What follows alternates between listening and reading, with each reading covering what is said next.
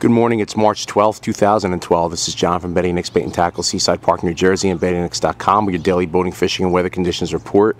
It's uh, one of the nicest days of the spring so far. It's going to be in the mid 70s once the sun gets a little higher. Nothing but blue skies everywhere. Bay is glassy, surf is glassy. Nothing but blue skies.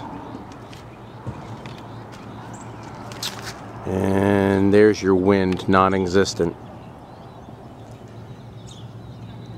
Still getting fish on bait. Up to 24 pounds the other day.